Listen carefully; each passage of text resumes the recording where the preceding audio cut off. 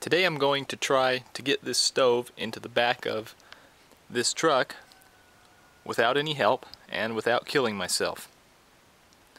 My idea is to move the stove right up against the tailgate so that the tailgate is right here on the side and then I'll try to just lift it up into the truck so that when it gets into the bed it's laying on its side then I can slide it in and tip it back upright.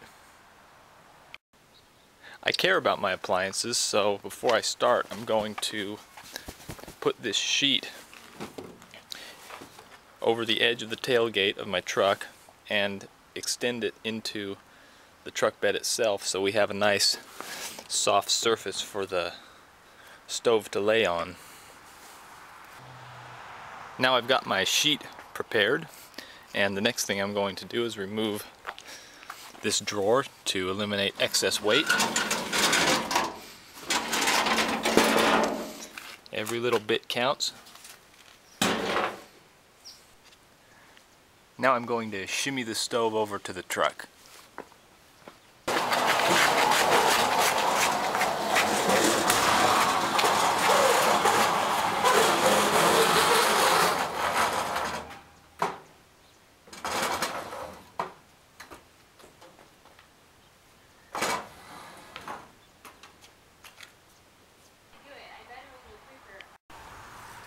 And now for the fun part. I've positioned the stove right up against the tailgate with the side of the stove against the truck because this is a stronger um, portion of the stove than the back of the stove. So this will um, reduce the chance of any damage to the stove. Damage to me, I'm not so sure about that. So, I'll give it a try.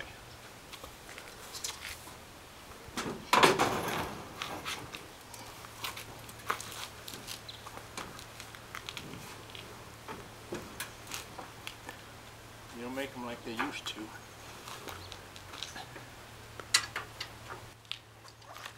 Ooh.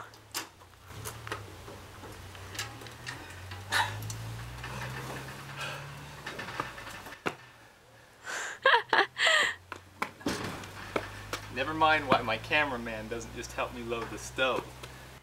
They can actually see my picture in the reflection of the glass. You're beautiful.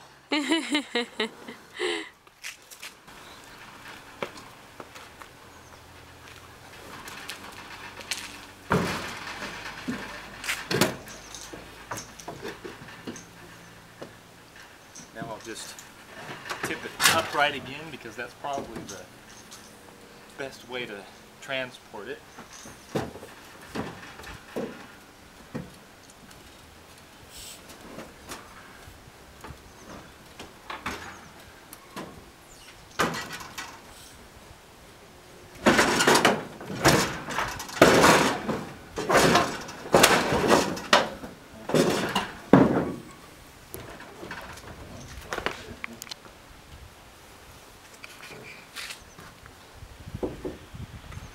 And that's how you load a stove if you're all alone, like me.